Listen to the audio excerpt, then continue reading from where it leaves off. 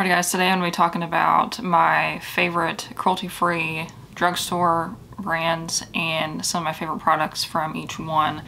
So some of these I have kind of not really like bought much from lately, so maybe it's stuff that I used before that I liked and like used up or went bad or something, and then some of them I have a lot from, like e.l.f. So, so the first brand I want to talk about, I know you probably heard of them for everybody but e.l.f. So everything that e.l.f. makes is vegan, which is amazing. I know like up until a couple years ago, I think they just had a few brushes that had animal hair, but now they're totally vegan.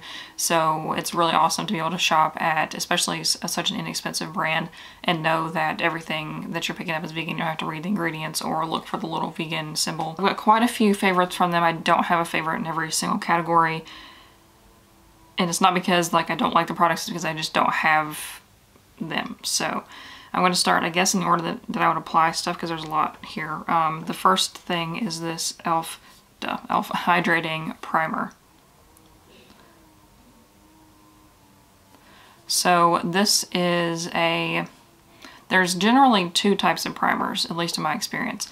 There's ones that are like hydrating and are going to help you if you have like dry skin and make the makeup go on smoother. And then there's like silicone pore filling ones that for if you have oily skin or large pores that will kind of smooth the texture.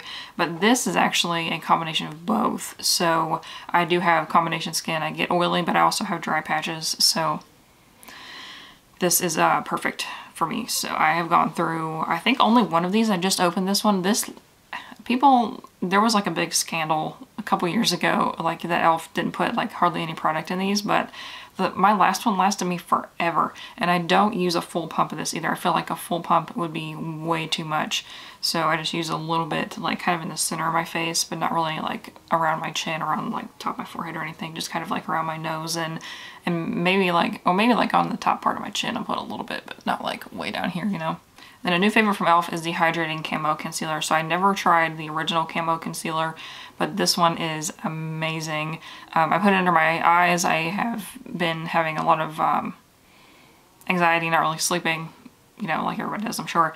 But this has really helped my under eyes like when I put it on. I'm actually not, I'm not wearing a lot of this stuff today. I didn't plan very well, but this is um, amazing. It does have a ton of shade options though. I know e.l.f. used to like be very, very limited in their shade selection, like three shades of white and maybe one shade of medium, but this one has a ton for light, medium, and dark skin, so highly recommend this one. And then here's a blush from e.l.f. This is the, they don't put names on stuff. I'm pretty sure this is called the Primer Infused blush, and I have the shade Always Cheeky. I am, I am wearing this one today though. I didn't remember that.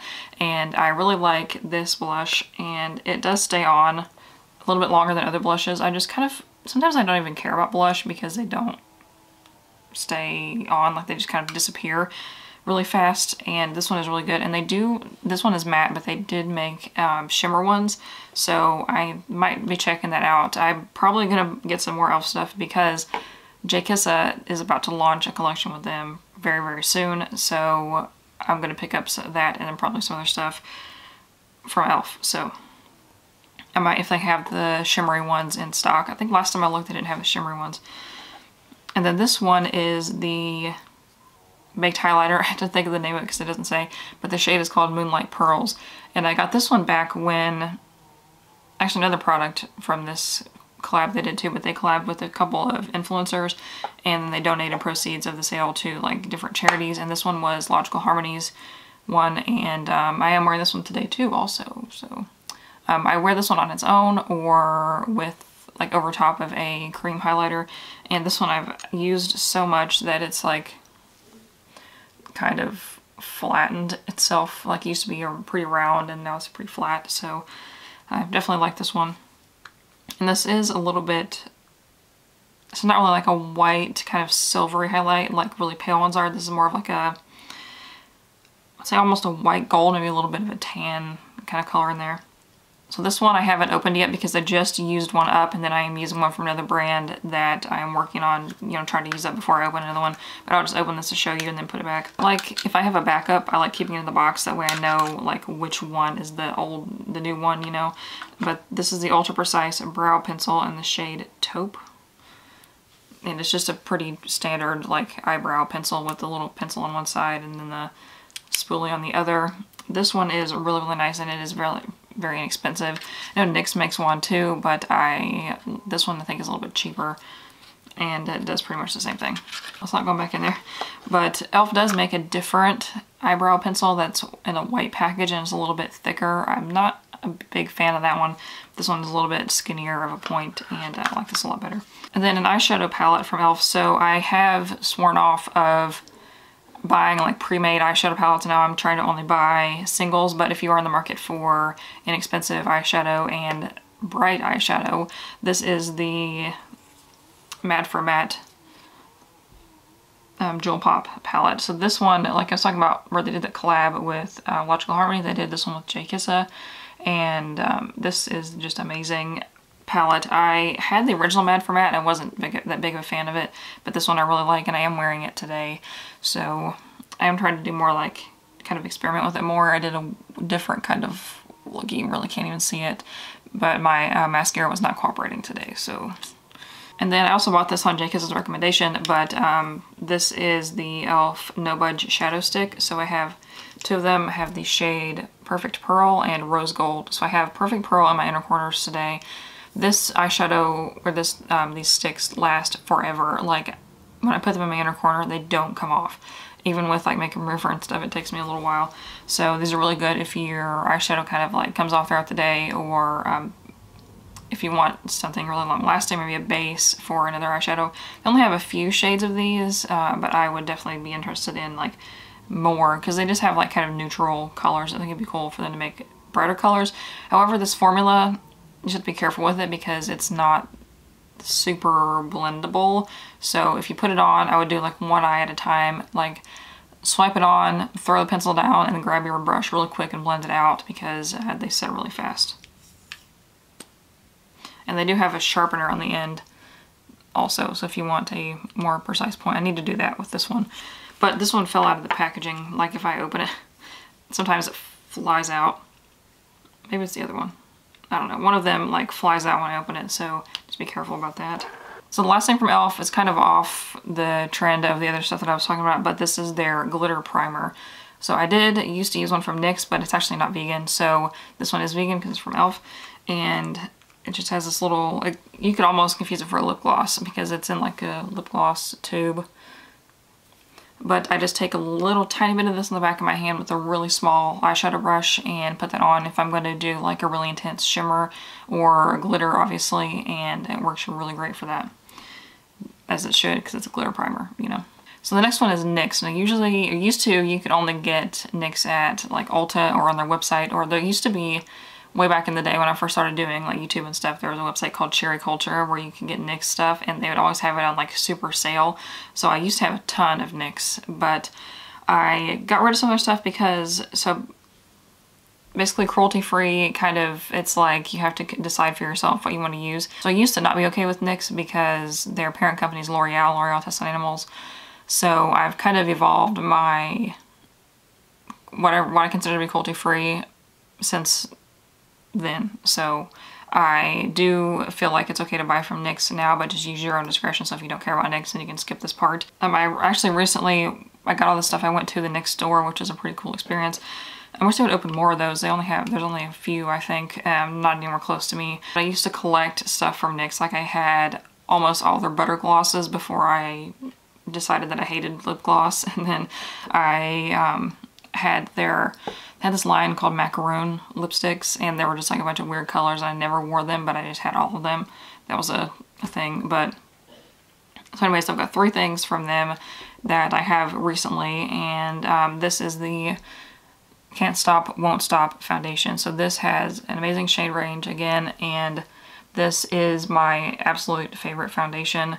It kicked out the Cover FX Power Play because this is just fabulous and it's a lot cheaper.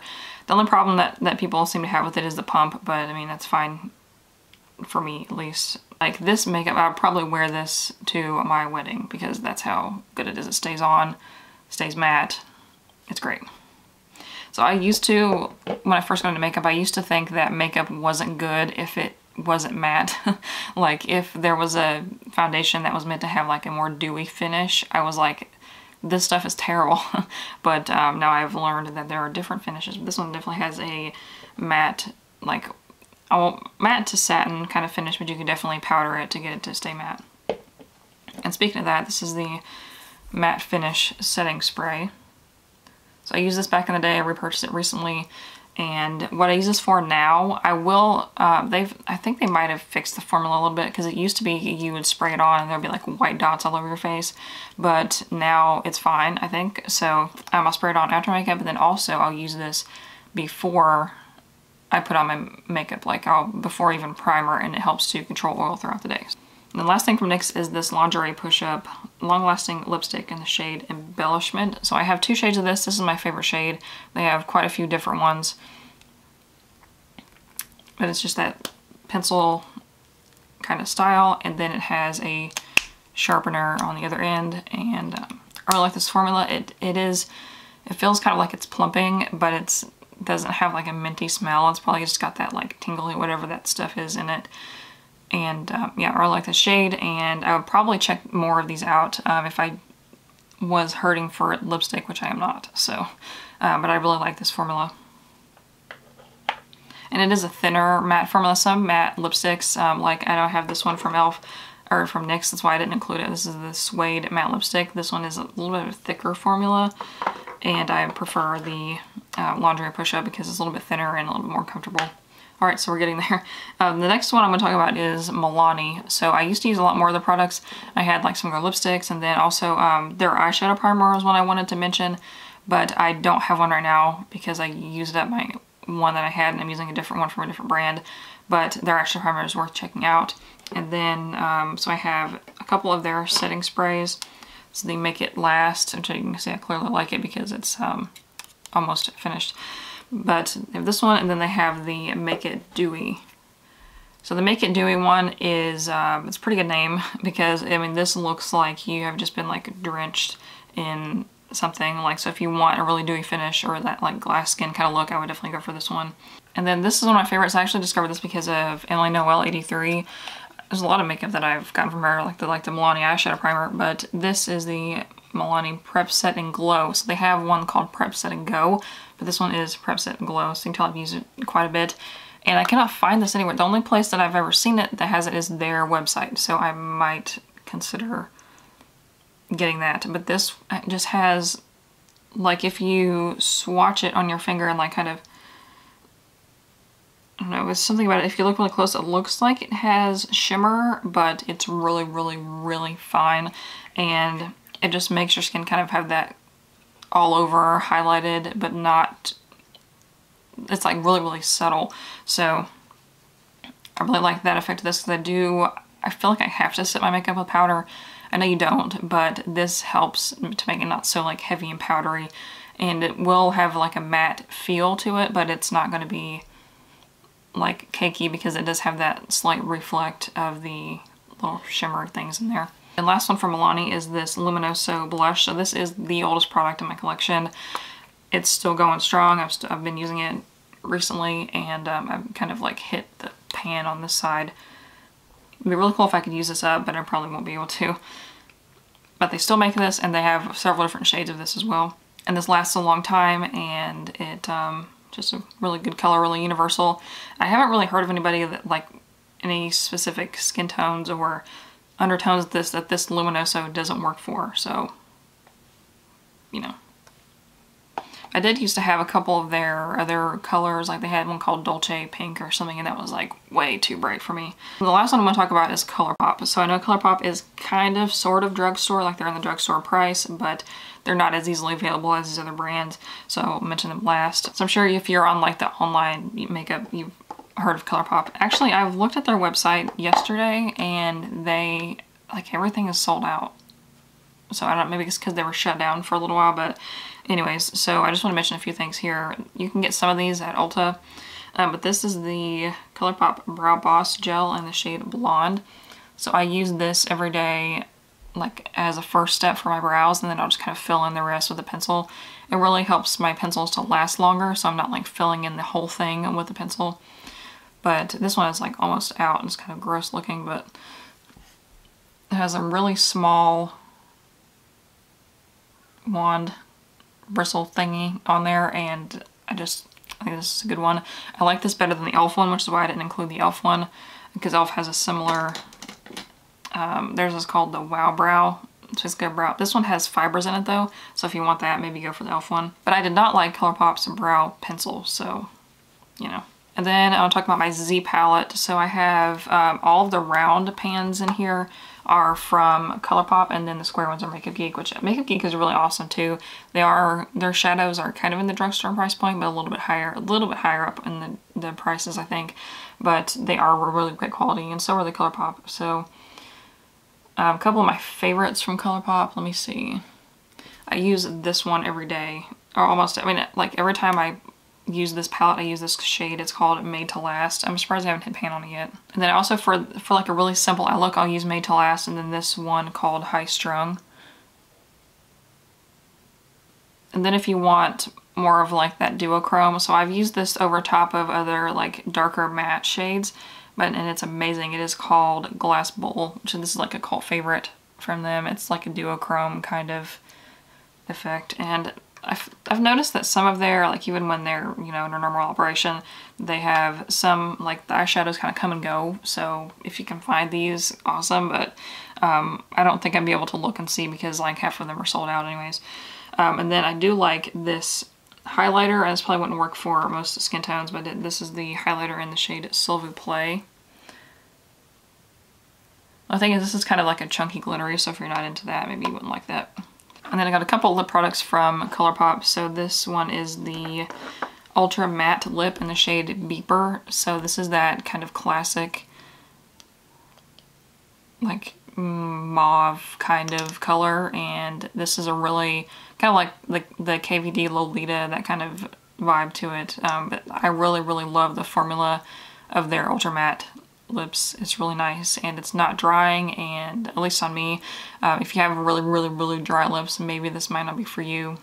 But um, definitely worth a try. They're only, I think this is like $6. So. Then the last one is the ColourPop Ultra Blotted Lip. So this one is kind of just like the Ultra Matte, but it's a little bit of a sheer color. And this one is kind of like a My Lips But Better. So if I'm wearing like a no makeup, I will wear this one. It's in the shade Zuma. And it's, it's a pretty similar color like in the tube to Beeper. Maybe just a tad on the, a little bit more on the pinky side. So this one is Zuma and this one is Beeper. So pretty similar in the tube and then this um, the ultra blotted goes on really thin so you can layer it up but it's the more you layer it up the more it's going to get kind of thick so um, yeah I definitely really really like this one for just like no makeup days or if I just want a little bit of something you know. That is it for this video those are my cruelty free drugstore makeup favorites that I have currently. I do want to try some more stuff from these brands so if you have any suggestions leave a comment and uh, give this video a thumbs up if that was interesting subscribe so don't miss any other ones and I'll see you in the next one. Bye.